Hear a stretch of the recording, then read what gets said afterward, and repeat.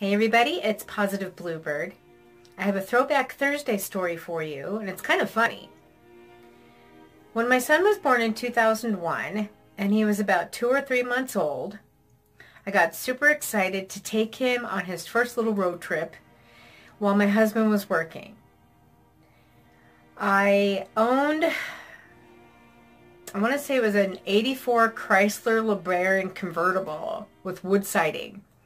And if you've ever seen the movie Planes, Trains, and Automobiles with John Candy and, oh my gosh, I can't think of his name.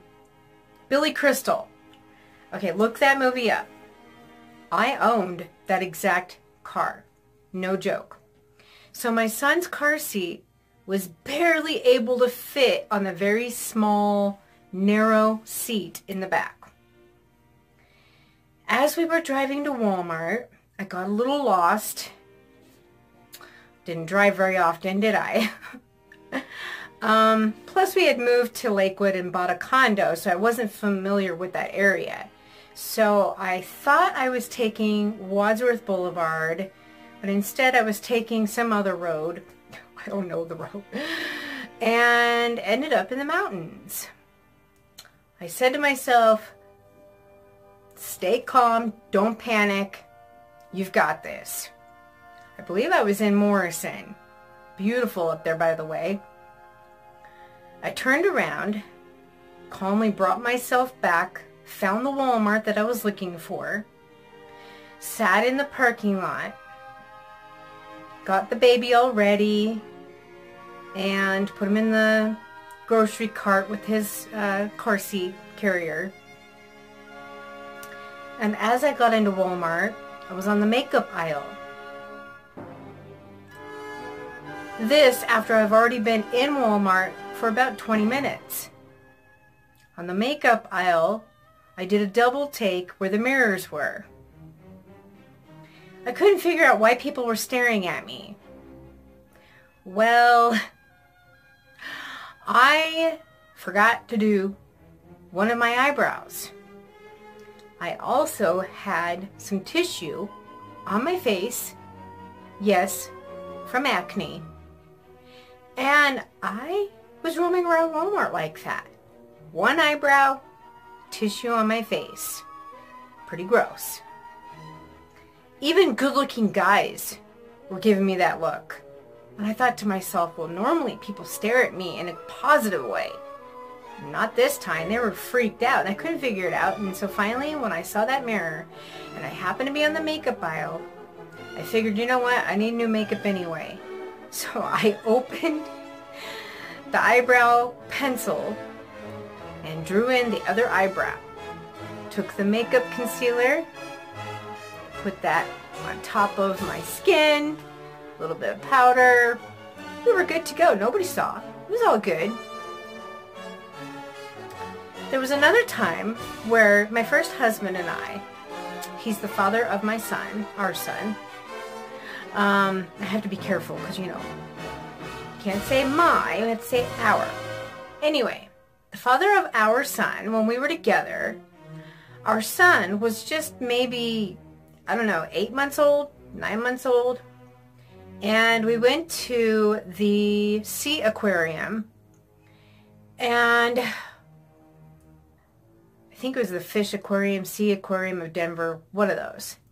Well, silly me, I forgot to pack diapers in the diaper bag. I packed everything else, but I got distracted like I normally do. But I was lucky that I had wide, long maxi pads.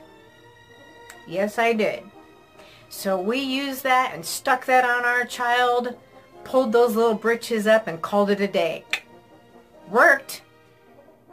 I wasn't going to go and ask people for a diaper when their child was like two or three years old when I have a, a little baby. So the maxi pad worked fine. He doesn't know. Anyway, um, let me think here. Um, another incident was I was working at the Olive Garden Highlands Ranch before my son was born. And there was an elderly woman who was coming out of the bathroom. And not only did she have toilet paper sticking out from underneath her pant leg, she also had the seat cushion paper, you know, the, the not seat cushion, the toilet seat paper, um, whatever, the seat protector. She had that hanging out from the top part of her pants. So as she's making her way to the bar, I was trying to call her and stop her, but she couldn't hear me because of all the noise. I just quickly grabbed that, yanked it like this and threw it behind me. Then I quickly stepped on the toilet tissue on the floor and it came out. I mean, I just put the gloves on, picked everything up, threw it away, and she never even knew. Later that night, I was on the podium. We were on a huge wait. And I was taking names. And a customer came in and she said at the podium, do not move. And I was like, what is this, a holdup? She said, don't move. But she was looking up at me like this. I looked up and I went, oh, hell no. Took my hand and went, whack. It was a giant spider hanging on the web. What was I supposed to do? It was my first reaction. So I whack it. She dodges it. I dodge it. It smacks another employee in the face. He freaks out spills a glass of wine. I was like, oh my god, it was crazy. It was, it was funny, but it was crazy. We used to get centipedes too, because we were um, kind of on the outskirts of County Line Road and Highlands Ranch, and it was kind of like newly developed um, flatlands area out there, so they were building a lot of really nice, huge mansion homes. So we would get a lot of centipedes and scorpions and just creepy crawlies all over the place. that that Olive Garden is still sitting there, by the way. Um, but yeah, it's not the first time we've had spider incidences. One's fell, I guess, from the woodwork, the lattice work above, and landed in this lady's um, little, what do you call those little, it's like a boat dish of Alfredo sauce and it landed right in there when she was getting ready to dip her breadstick. It was horrifying. Yeah, um, hmm. I'm trying to think of another funny story. This one's not so funny. The Chili's across the street from where I used to work actually burned down last year. It was really sad. There were a bunch of construction workers on the roof and being ridiculous. They were trying to fix the roof and they had like heating tools, I guess, and um, torches. And you don't want to do that when the kitchen down below and the gas oven is on. So unfortunately the Chili's exploded.